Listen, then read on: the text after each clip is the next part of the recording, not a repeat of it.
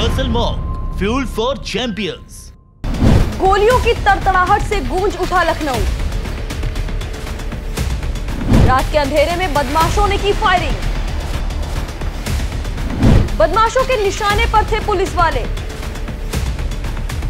सुल्तानपुर का कुख्यात बदमाश लखनऊ में ढेर। जी हाँ बिल्कुल सही सुना आपने। रात के अंधेरे में लखनऊ का पौश इलाका, गोमती नगर, गोलियों की तड़तड़ाहट से गूंज उठा। दोनों तरफ़ से कई राउंड फायरिंग हुई और जब फायरिंग रुकी तो सामने पड़ा था सुल्तानपुर ज़िले का कुख्यात बदमाश, जिसके पैर में पुलिस की गोली धसी थी। बीती रात लखनऊ के गोमती नगर इलाके में पुलिस ने मुठभेड़ के बाद एक कुख्यात बदमाश को गिरफ़्तार करने का दावा किया है। इस कुख्यात बदमाश पर यूपी के कई शहरों में मुकदमे दर्ज थे। कई संगीन वारदातें इस अपराधी ने अंजाम दे रखी थी और आखिरकार पुलिस ने उसे गिरफ़्तार कर लिया। पिछले काफ़ी अरसे से पुलिस इस बदमाश की गिरफ्तारी के लिए खाक छान रही थी और कल रात आखिरकार लखनऊ की गोमती नगर पुलिस को उसे गिरफ़्तार करने में कामयाबी मिल ही गई। नमस्कार, मैं हूँ किरण। आप देख रहे हैं न्यूज़ टाइम नेशन। सुल्तानपुर ज़िले के कुख्यात बदमाश सिराज को लखनऊ की गोमती नगर पुलिस ने मुठभेड़ के बाद दबोच लिया। दरअसल गोमती नगर थाना पुलिस को सूचना मिली थी कि दो कुख्यात बदमाश किसी वारदात को अंजाम देने निकले हैं, जिसे लेकर क्राइम ब्रांच और थाना गोमती नगर इंचार्ज दिनेश चंद्र मिश्रा ने टीम के साथ मिलकर जाल बिछाया।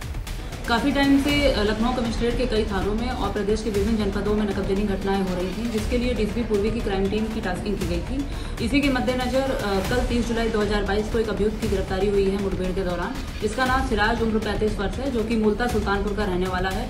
तीस जुलाई की रात करीब सवा बजे एक मोटरसाइकिल पर सवार दो बदमाश अंबेडकर पार्क से सहारा शहर के पास आते हुए दिखाई दिए। पुलिस के मुताबिक टीम ने उन्हें रोकने का इशारा किया, लेकिन बदमाशों ने रुकने के बजाय पुलिस पर ही फायर झोंक दिया। बस, क्या था? पुलिस ने भी जवाबी फायरिंग शुरू कर दी। कुल तीन राउंड फायरिंग के बाद सन्नाटा हो गया, और जब पुलिस ने करीब जाकर देखा तो सामने एक शख्स पड़ा था, जिसके कंधे पर बैग था और पैर में पुलिस की एक गोली धसी थी। गोली लगने से बदमाश जख्मी हो गया था। लिहाजा उसे तुरंत ही इलाज के लिए अस्पताल में भर्ती कराया गया। पुलिस के मुताबिक बदमाश का नाम सिराज है जो कि सुल्तानपुर ज़िले की नगर कोतवाली के अमहट में मौजूद गोराबारी गाँव का रहने वाला है। मुठभेड़ के दौरान इसके बाएँ पैर में गोली लगी थी और मौके से इसका एक सा, एक साथी भी फरार हो गया था मोटरसाइकिल के साथ। जो चीज़ें वहाँ से बरामद हुई हैं उसमें बत्तीस बोर तमंचा और कारतूस ज़िंदा और खोखा बरामद हुई है और इसके अलावा सफ़ेद और पीली धातु के कई जेवरात भी बरामद हुए हैं। इसके ऊपर अभी 22 से ऊपर मुकदमे हैं और मुकदमों की छानबीन की जा रही है। और बीस हज़ार का इनाम भी इसके ऊपर घोषित है। अग्रिम विधिक कार्रवाई अमल में लाई जा रही है। फ़िलहाल कुख्यात सिराज लखनऊ के मड़ियाओं थाना इलाके में रह रहा था।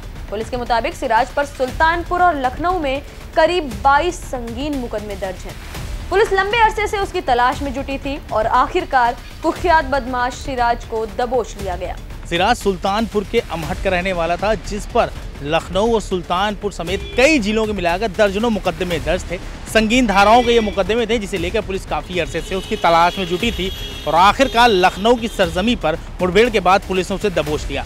पुलिस सिराज की गिरफ्तारी को बहुत बड़ी कामयाबी मान रही है। फ़िलहाल सिराज पुलिस की गिरफ्त में है और अब देखना ये होगा कि आखिर सिराज की गिरफ्तारी से लखनऊ के क्राइम ग्राफ में कितनी कमी आती है। कैमरा पर्सन फैजान अली के साथ मैं Mohammad Asifullah news time nation, Lucknow.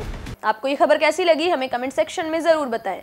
अगर आप ये खबर फेसबुक पर देख रहे हैं तो वीडियो को लाइक करके पेज को फॉलो करें। इसके अलावा अगर आप इस खबर से यूट्यूब के ज़रिए जुड़े हैं तो चैनल को सब्सक्राइब करके बेल आइकन दबाना बिल्कुल ना भूलें। नमस्कार। Muscle purity potential and perfection fuel for champions subscribe करें आपका अपना चैनल न्यूज़ टाइम नेशन और हर खबर सबसे पहले पाने के लिए बेल आइकॉन ज़रूर दबाएँ। और हाँ खबरें पसंद आ जाएँ तो लाइक और शेयर करना ना भूलें।